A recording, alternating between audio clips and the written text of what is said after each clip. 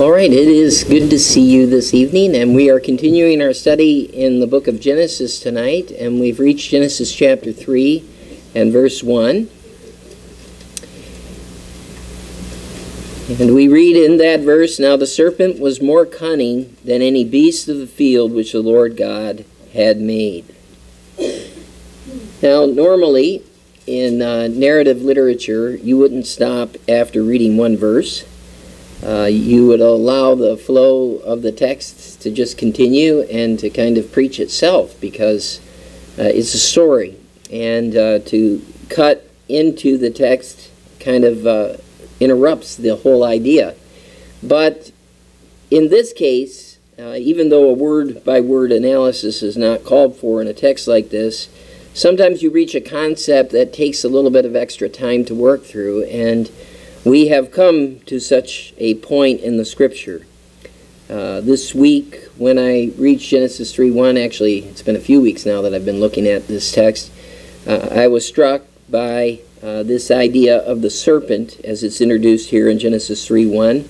And since this is the Bible's first mention, if you're reading through the Bible, of the devil, uh, I think that we should take special notice of this text. There's actually an interpretive principle that whenever something is mentioned first, it is a very significant point in Scripture.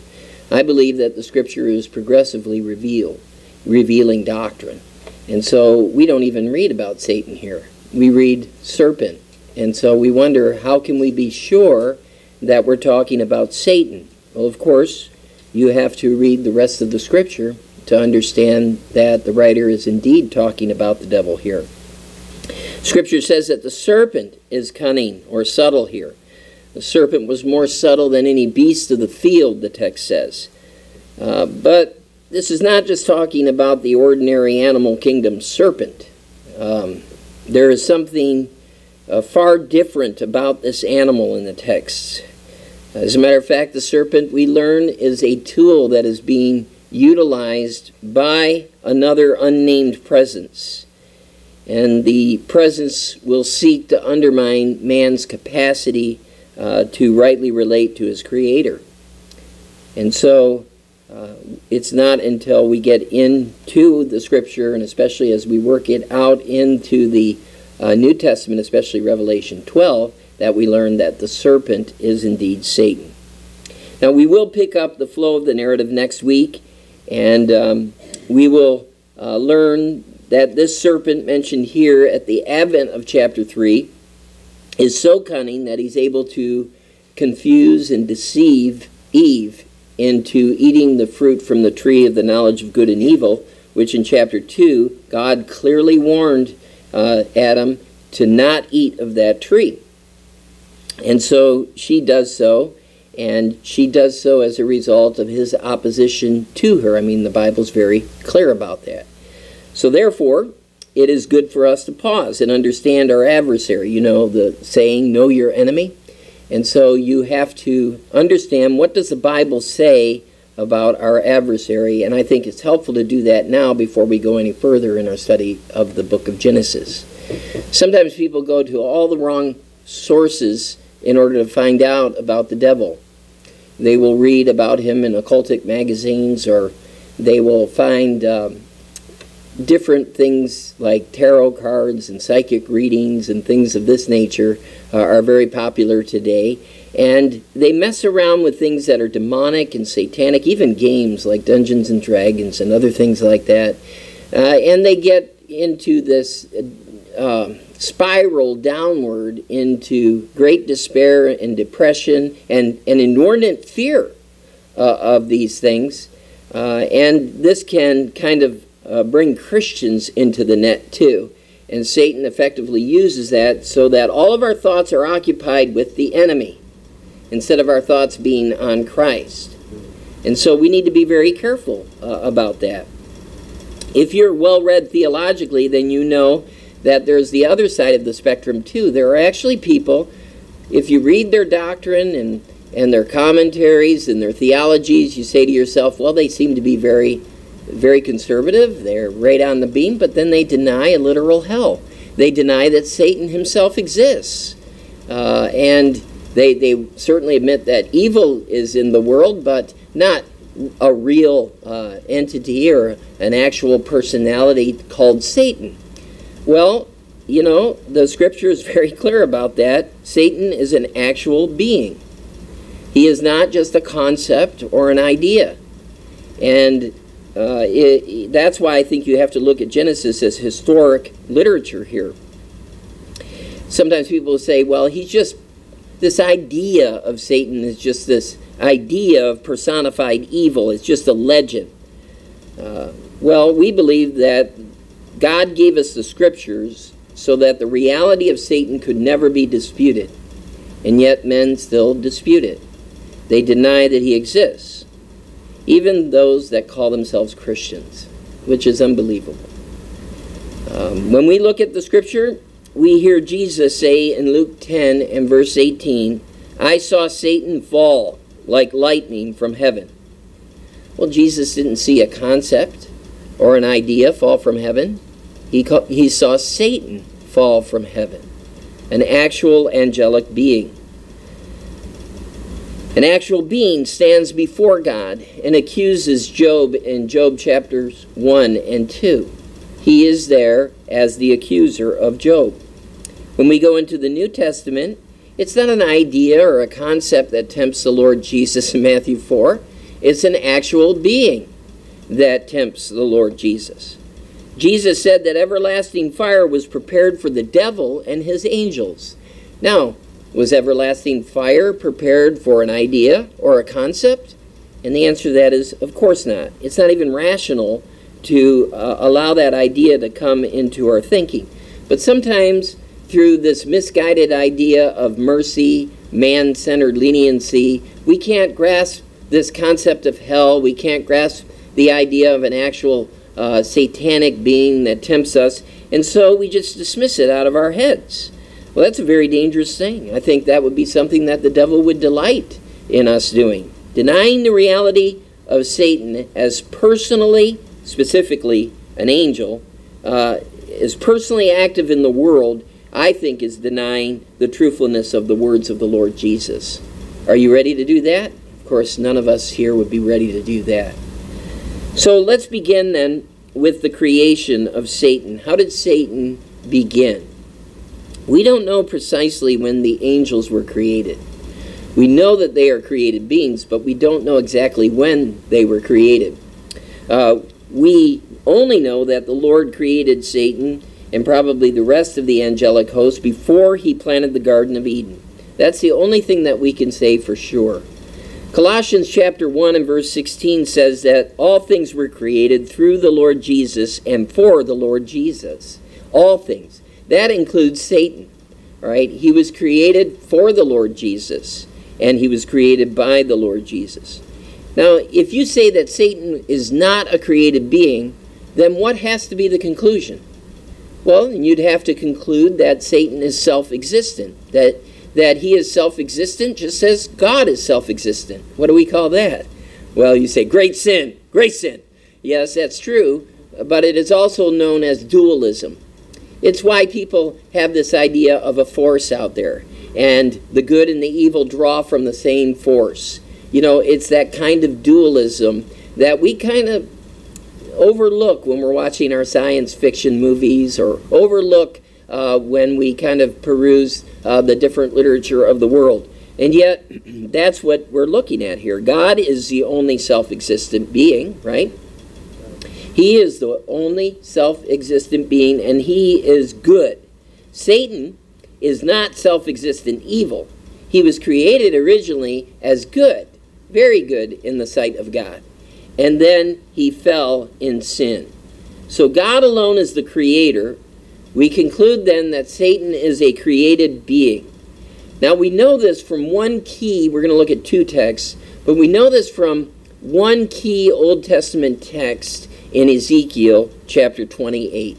So if you have your Bible or the handout tonight, it has the text on the handout then, then go ahead and turn to Ezekiel 28, and we're going to read that extended portion of Scripture, beginning in verse 11, and we'll read through verse 19. Now, it'd be better if you were there in the text with me so that you kind of sink in uh, there. Ezekiel 28 and verse 11, it says, Moreover, the word of the Lord came to me, saying, Son of man, take up the lamentation for the king of Tyre, and say to him, Thus says the Lord God, You were the seal of perfection, full of wisdom and perfect in beauty. You were in Eden, the garden of God. Every precious stone was your covering the sardius, topaz, and diamond, beryl, onyx, and jasper, sapphire, turquoise, and emerald with gold. The workmanship of your timbrels and pipes was prepared for you on the day you were created. You were the anointed cherub who covers. I established you. You were on the holy mountain of God. You walked back and forth in the midst of fiery stones. You were perfect in your ways from the day you were created, till iniquity was found in you. Now, I would argue with you, if you're going to highlight something, 14 and 15 would be it. I, I would argue that this could never be said about any man. It, you know, you were perfect in all your ways. You, maybe we could say that about the Lord Jesus. Well, we could, right? But we could not say that about any other man. And yet, that's what we see here in verses 14 and 15. By the abundance of your trading, you became filled with violence within, and you sinned. Therefore, I cast you as a profane thing out of the mountain of God, Satan falling from heaven like lightning. And I destroyed you, O covering cherub, from the midst of the fiery stones. Your heart was lifted up because of your beauty. You corrupted your wisdom for the sake of your splendor. I cast you to the ground. I laid you before kings, that they might gaze at you. You defiled your sanctuaries by the multitude of your iniquities, by the iniquity of your trading. Therefore, I brought fire from your midst. It devoured you. And I turned you to ashes upon the earth in the sight of all who saw you. All who never, all who knew you among the peoples are astonished at you, and have become you have become a horror and shall be no more forever. Now you say, well, it seems to go back and forth from, from an actual person to, to this anointed cherub. Could it be talking about two different entities, an actual king of Tyre and Satan? And that is my view of the text. A lot of people don't like an understanding like that, but I think that that makes the most sense. I think it is talking about a historical king of Tyre. There is uh, Tyre on the uh, northernmost coast of, uh, uh, of Israel. It was, a, it was a section that should have been absolutely uh, taken by the tribes of Dan and Asher, but it wasn't uh, because the people were too strong there. They weren't too strong for God, but they were too strong for the tribes who refused to depend on God for the strength that they needed to overcome their foe. And so Tyre then just stayed there, and Israel began to cooperate with Tyre, and uh, they in time become an economic ally to Israel. Now remember, they're in the north, so they're always going to be in league with the northern kingdom when the kingdom split.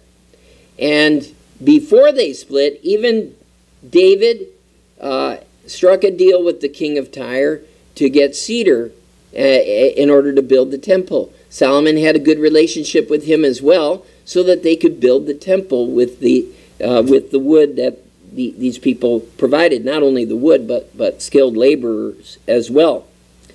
Israel, in turn, provided agriculture, uh, produce uh, for um, Tyres so that they could eat. When the kingdom divides, they maintain the close connection. But you remember a very uh, striking evil character in the scripture named Jezebel, right? She comes from this region. Uh, her father was part of Tyre's kingdom, and his name was Ethbaal, king of the Sidonians. And so you can see then how the alliance with Tyre uh, really began to cause a problem for Israel. The only time that that alliance dissolved was when it paved the way for Israel's demise to the Assyrians. They were taken away into captivity in the year 722. And so uh, there are several prophetic passages then in the Old Testament condemning Tyre. And a lot of it stems from this historic account. And the reason is, is because they were very evil. They were uh, very much idolatrous uh, place and they were very much people that were consumed with greed and with getting things. So the city used the enmity then between Assyria and Egypt to become very wealthy. They actually exploited Israel and took advantage of their precarious situation. Kind of reminds me to the south of what Edom did to Judah.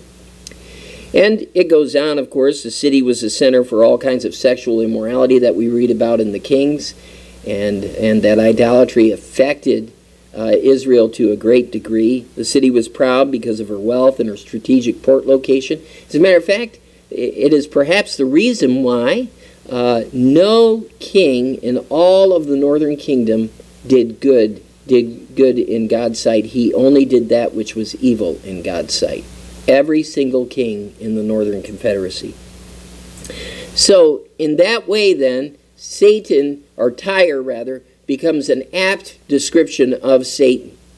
We, we can take that city and we can say, wow, they are the epitome of evil. Well, there's a reason for that. I would imagine that many of her kings were fully given over to Satan and to his influence. Earlier in Ezekiel 28 and verse 2, God declares, Because your heart is lifted up, and you say, I am God, I sit in the seat of gods, in the midst of the seas, he would send then strangers against them as a form of judgment. Now he's speaking quite obviously to the king of Tyre there. The arrogance is what ties both Tyre, her king, and Satan together. Uh, the arrogance and the pride. I believe that that passage then is giving us a very strong clue as to the sin of Satan. Verses 14 and 15 really clarify matters. Um, Ezekiel 28 refers then to a king and to Satan. Now let, let's conclude some things. Verse 12, it says, He was the seal of perfection, full of wisdom, and perfect in beauty. That's how he was before his fall. Verse 13 says, He was once in Eden, the garden of God. He existed then before sin entered the world. It says in verse 13, he donned a precious stone covering. Uh, all kinds of stones here listed. Must have been something very stunning to behold, something even beyond our imagination. He was the anointed cherub who covers, it says in verse 14. Now, cherub is a classification of angel. And so a covering angel, if you will. Genesis 3:24 teach us that cherubim guarded the holiness of God by making sure that nobody could go back and have entrance to the tree, right? So the cherubim were responsible for that. They were living creatures associated with the throne of God and the holiness of God. Ezekiel 1 and verse 5 confirms that. They are connected to the very presence of God. And Satan seems to be the chief cherub.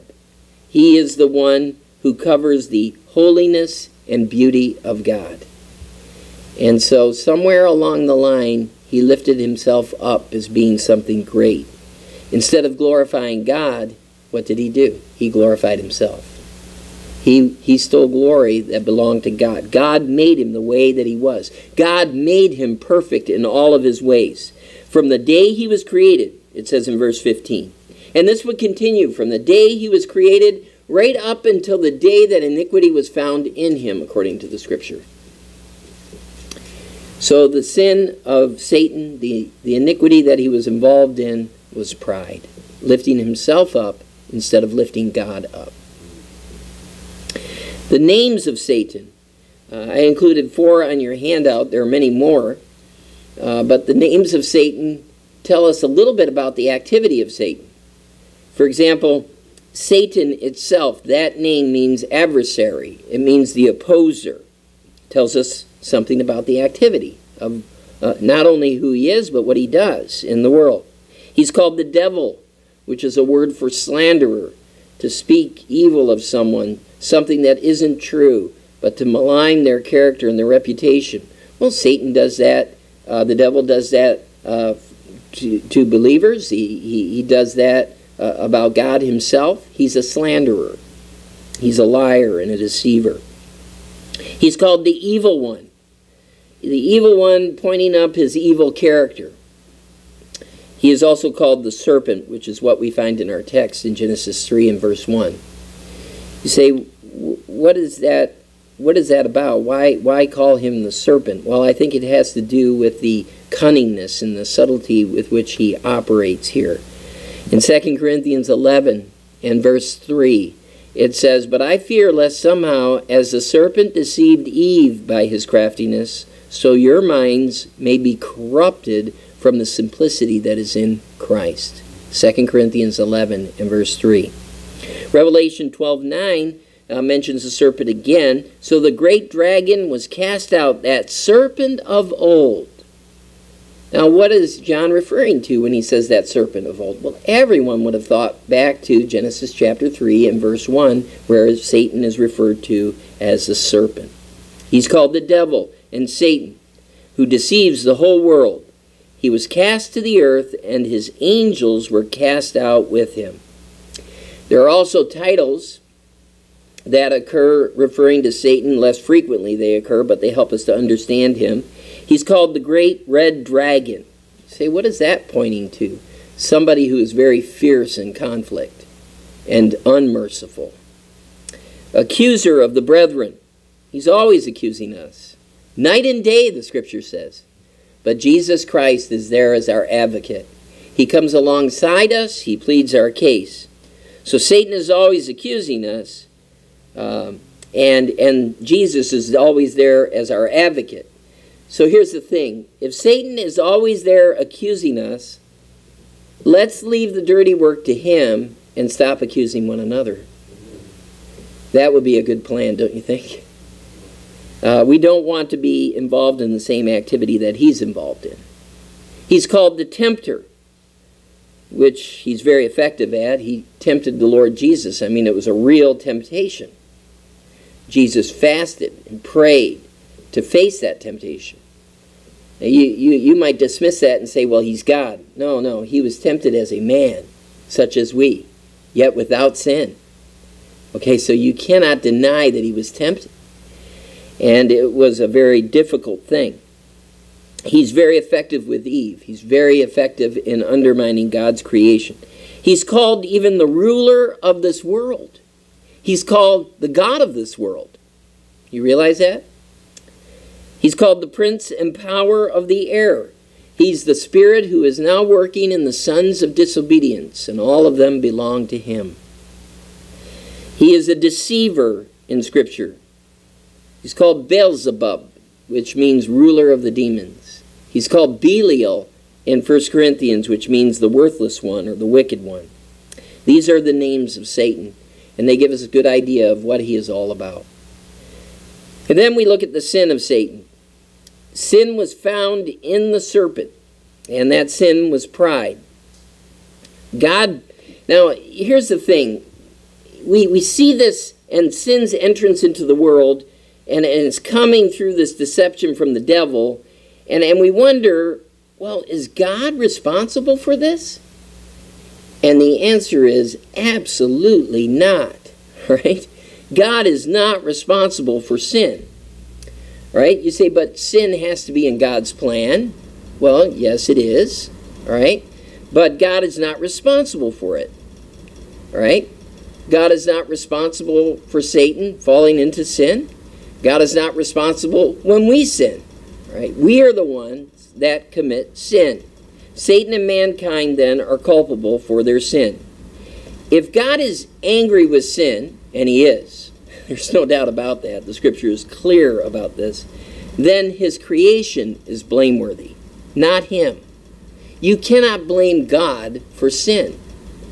And it really is a ridiculous notion to do so. God permits sin and rebellion, He doesn't cause it. The Bible is clear that he's not the author of sin. And so it's in this way that I say that sin and Satan are a part of the plan of God. Um, there is nothing else that you can say. I mean, it's very clear in the scripture. And so we can't assign this evil to God. We're taught that a pastor of a church shouldn't be a novice. He shouldn't be new convert in the faith. Say, well, why is that? Well, in 1 Timothy 3 6, the danger is that that pastor would become puffed up with pride and he would fall into the same condemnation of the devil. All right, well, then what is that condemnation? Well, it's pride. A new believer entering the role of pastor is almost certainly going to take glory for himself that belongs to God, and that's exactly what Satan did.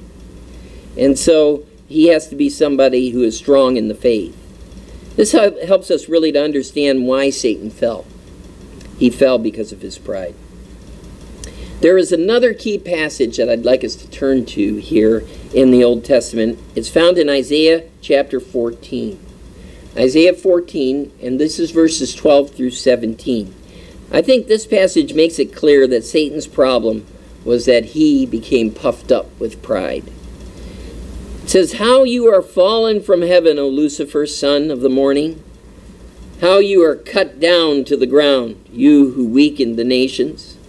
For you have said in your heart, I will ascend into heaven.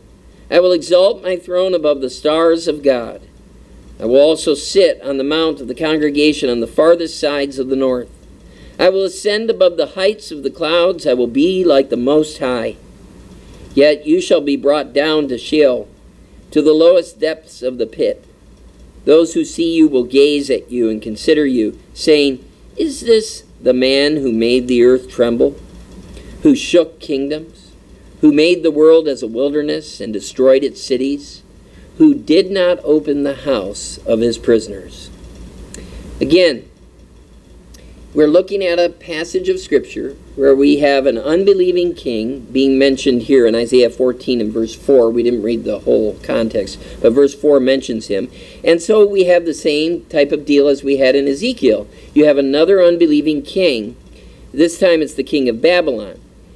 Now, I think it's interesting here. It is my belief, all right, that not only does this uh, king of Babylon become a type of the Antichrist and his future fall, but he is also an antitype that is looking back.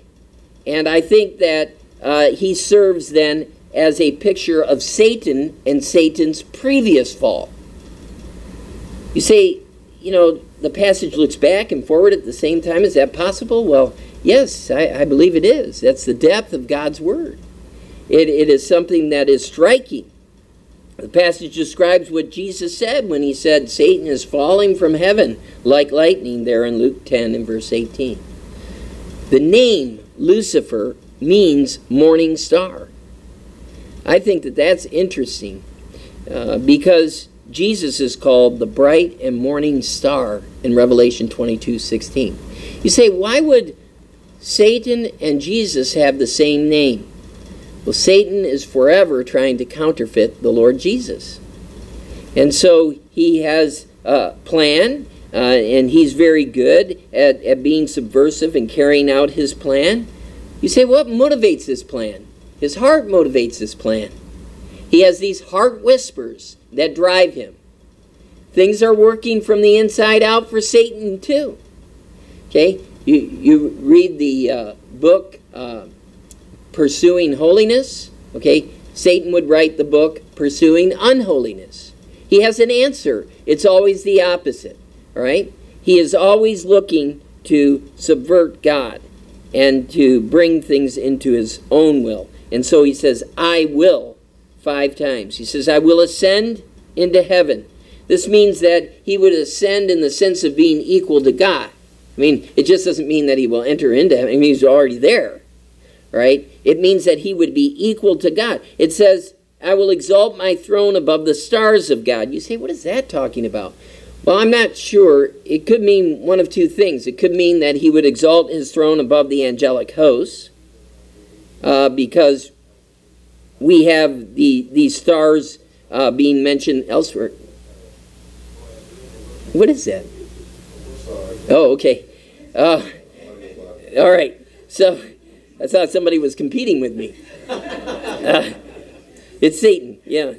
Uh, so we see this, the stars of God, and, and we think of, okay, we'll, we'll let you get rid of that. okay.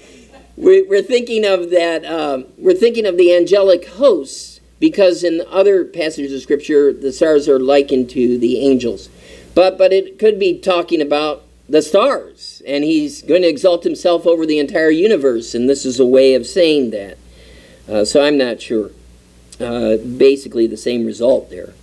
Uh, third, I will, he says, I will sit on the mount of the congregation on the farthest sides of the north. I, I think that this refers to the fact that he, he wants all of this authority. He is driven by his own lust for power and ambition. And so he, he is driven in this way. He says, I will ascend above the heights of the clouds. Now, when you see the glory of God being represented in the Old Testament, what do you think of? Well, you think of clouds. You think of the Shekinah glory of God. And uh, certainly, I think that this is uh, a, a way in which he is saying, I'm going to be even above God's glory. I'm going to be glorified. And then the fifth, I will, I will be like the Most High. Satan's desire was to be like his Creator, but but not like his Creator in the way that we are commanded to be like our Creator, right? I mean, we're to be Christ-like. What does that mean? It means we're to be loving and gentle and filled with grace and and all of those things, right? Uh, but when Satan is saying, I will be like the Most High, he's saying, I'm going to be omnipotent, I'm going to be sovereign, I'm going to be omniscient. These are things that belong to God only. They don't belong to Satan. But he is saying, I will be like that, though. You just wait and see. This is a challenge, then, of God's authority over his creation. It is the creation telling the Creator, I'm going to be the Creator. I'm going to be the self existent one, the sovereign one. So you can see how sin has twisted and perverted him. The serpent's sin affected other angels too. Uh, it affects all people. Even to this day, we're affected by Satan in ways that I, I'm firmly convinced we don't even understand. Um, I mean, that's what makes him the ruler of this world, the prince and the power of the air. He energizes this world system. He utilizes the position that he has. But you say, but only as God allows, right? Yeah, only as God allows. Say, well, why does God permit it? Why does God allow it? Well, we can ask him when we come to him. Uh, but I know one thing that it is very hard to explain that without explaining, you know, without getting into uh, areas that are very difficult to talk about. Um, I would say that I believe in human responsibility. And so I think that responding to God is something that God wants us to do. Now, you might not like to call that free will. I'm okay with that. But I think that we respond to God in this way. And, and God, of course, is overall, and He's sovereign. Nobody's saved apart from His grace. But we respond to Him by faith. And so that helps me to understand it a little bit, but even then, it's very difficult. That leads to the attacks of Satan. You say, well, how does he attack us? Well, the Bible says in 1 Peter 5 and verse 8 that he can be a ferocious lion. But often, according to 2 Corinthians 11 14, he comes in deceitfully as an angel of light. So he can be both of those things. Um, Satan attacked Jesus by testing him in the wilderness. He was hoping to tempt Jesus to commit evil. Instead, God proved that the Lord Jesus was sinful, or sinless. Wow. Sinless. Okay, you know that was a slip of the tongue. That the Lord Jesus was sinless and that he uh, would commit no sin, even under that great temptation that he went through in the wilderness. Uh, his primary motive behind the temptation was to get Jesus to think and to act in such a way that he was moving independently of God. I mean, you have this, if you are the Son of God, then just do these things. Do them of your own volition and of your, your, your own will. Uh, set aside God's will. You know, act on your own if you're, you're the Son of God. That's what he's doing there. Satan attacks God himself by offering all of these counterfeit uh, programs and, and kingdoms. There's a satanic kingdom represented by the kingdoms of man. And they build themselves up like the statue in Daniel. And they're infused with satanic power. But then here comes the kingdom of Christ represented by the stone that comes down and just absolutely obliterates the statue. And it becomes a mountain that fills the whole earth. That is a reference to Christ's millennial kingdom. And yet Satan has his own program and his own kingdoms that he think will win out in the end. They will not. Um, here in Genesis, in our text, he's going to get at Eve and he's going to say to her, You can be like God. And so he tempts her. He says, You can know good and evil. And he offers her a form of godliness while denying the power thereof, right?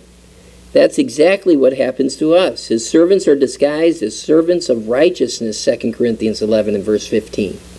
But they are far from being servants of righteousness.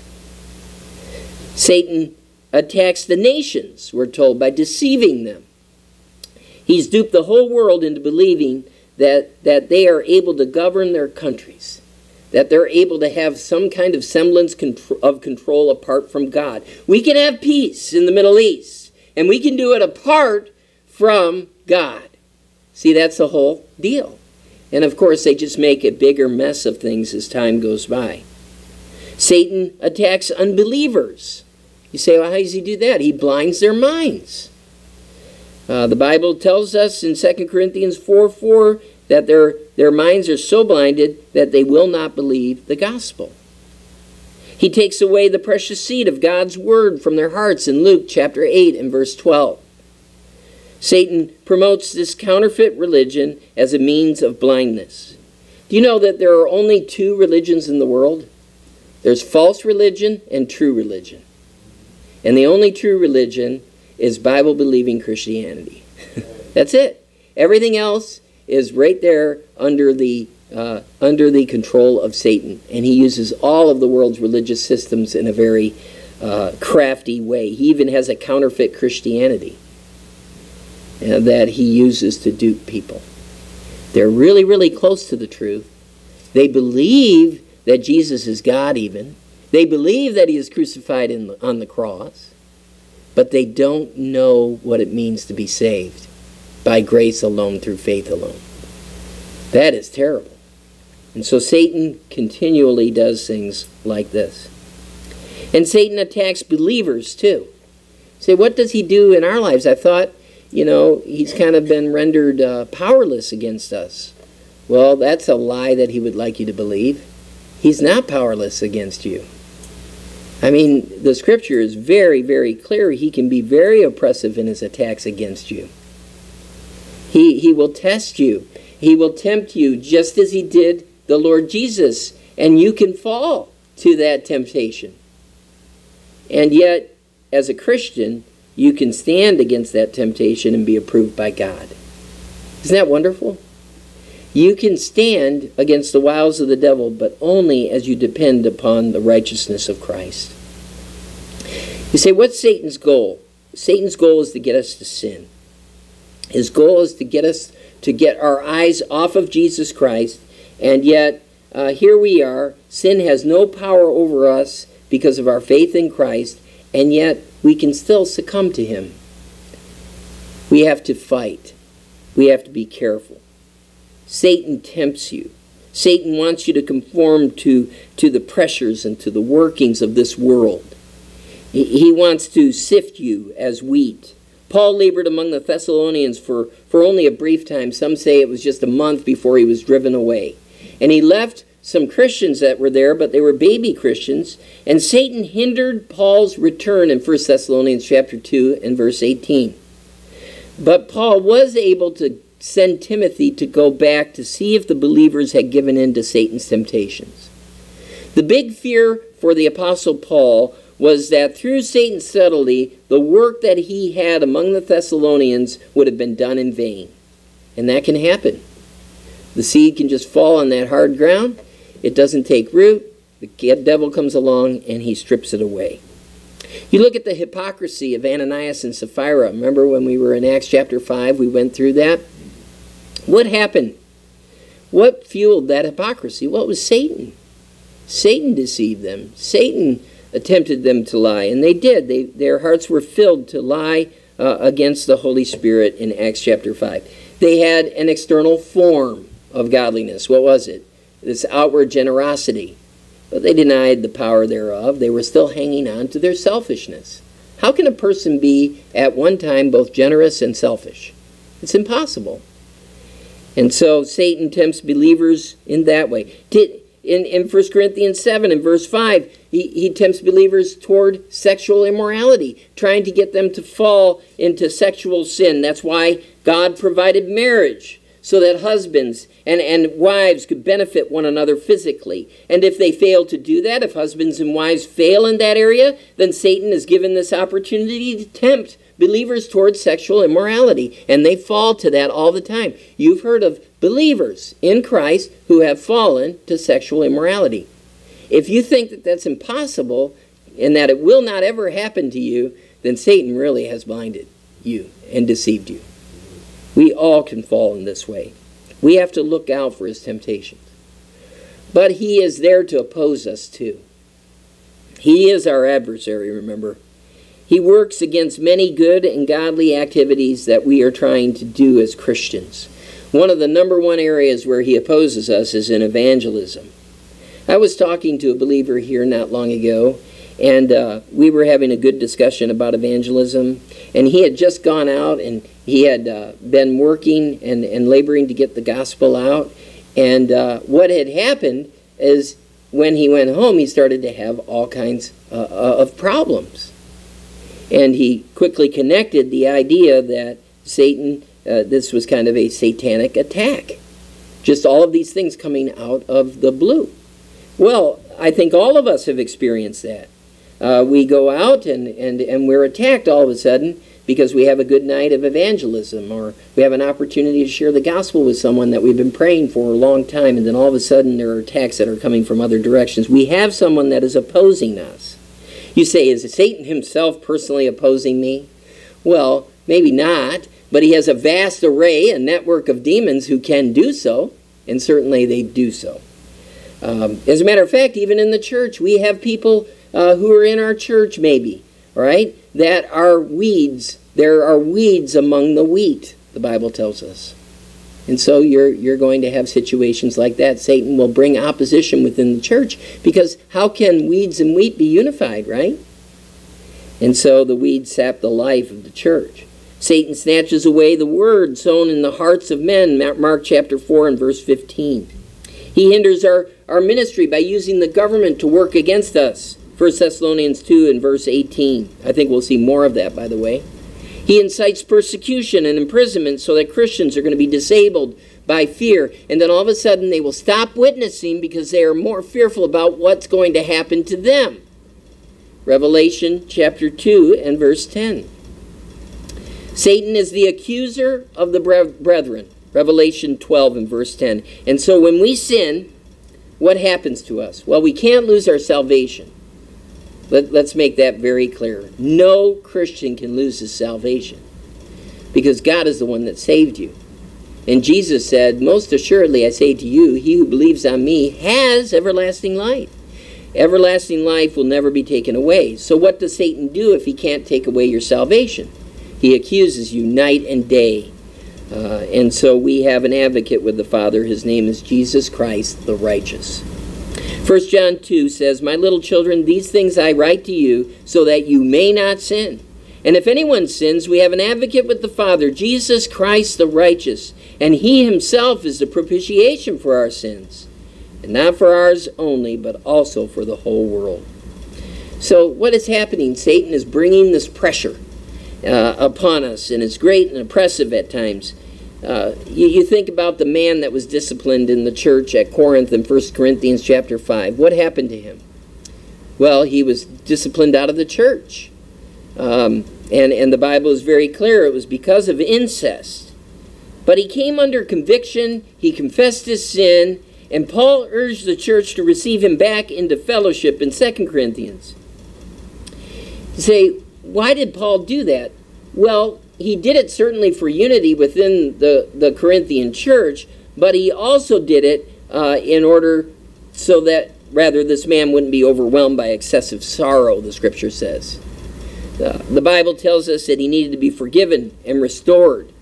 And if there is church discipline with no eye toward restoration, if we're thinking to ourselves, well, we, we carry through with church discipline, glad we got that person out of here, then there is something very wrong with our church.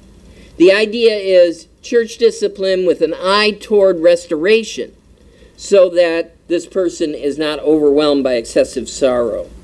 2 Corinthians 2 5 says, But if anyone has caused grief, he has not grieved me but all of you to some extent, not to be too severe.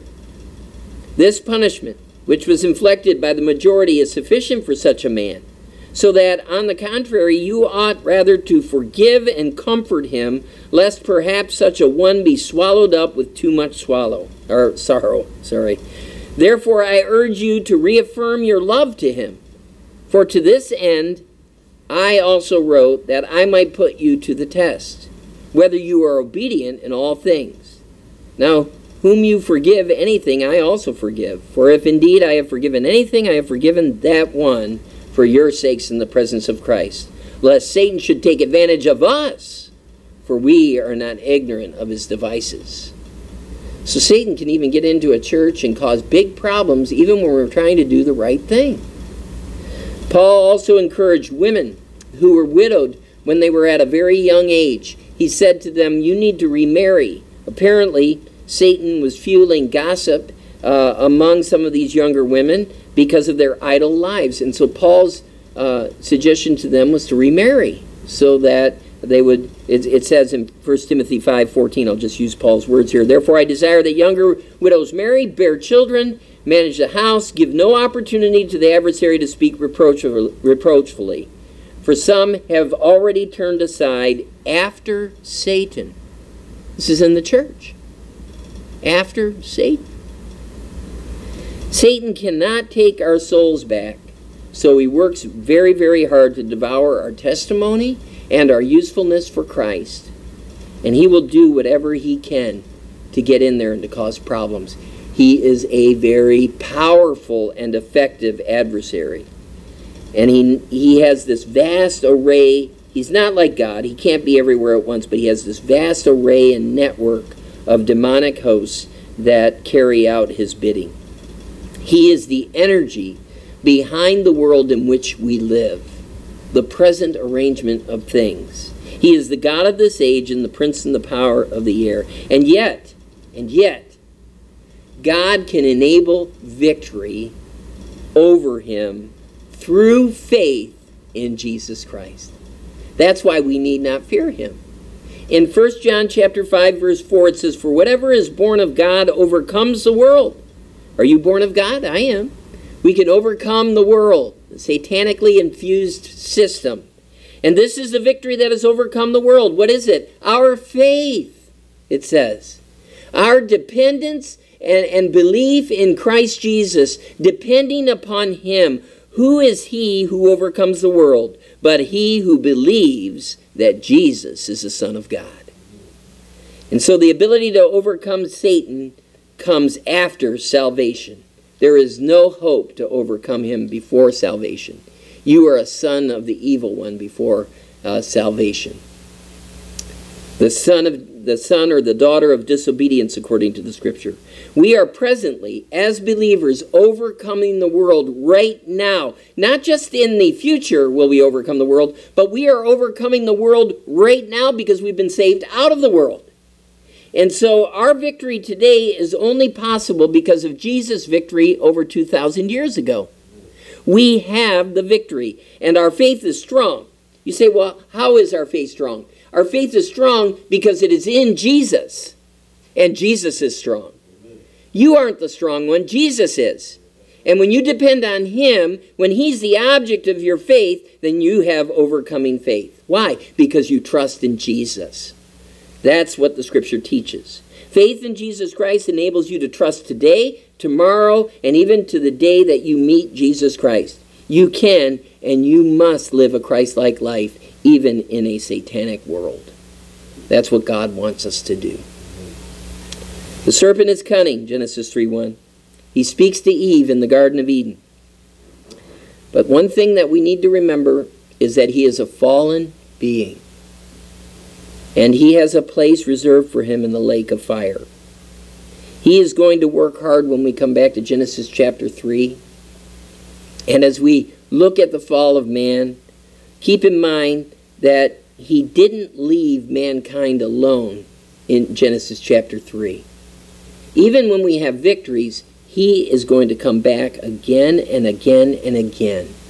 And you know how the Bible teaches us in, a, in Colossians 3 and Ephesians chapter 4 that we're to put off the old man and to put on the new? And we sometimes say that we're habituating our life to godliness, which we should do. There are only a few basic things that we need to know in order to do that. And then the rest is depending upon God to work in and through us, right? Well, Satan only has three avenues of temptation that he's used throughout all of time. And he uses them over and over and over again. He has habituated himself to evil to such a degree that he is extremely effective. You have no chance against him if you stand against him in the flesh.